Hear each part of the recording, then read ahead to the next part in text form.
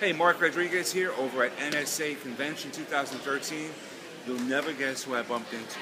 I got the one, the only Mark Tewart here. Mark, great to meet you here. Hey, buddy. How, How many, how many years have you been coming now? About 17 years now. 17 years. Yeah. This is my first year, and I'm excited. This guy has he's a wealth of information. What what could I expect from NSA? Uh, a lot of people are going to share. A lot of people are going to give with you. They're going to be very willing, very open. A ton of knowledge and information. Uh, you'll be a little overwhelmed by the time you leave. Sure, I'm sure. Listen, if he can come here 17 years in a row, you can never say that you've arrived. Right? There's always room for improvement. Mark Rodriguez signing off NSA 2013. Make it a great weekend.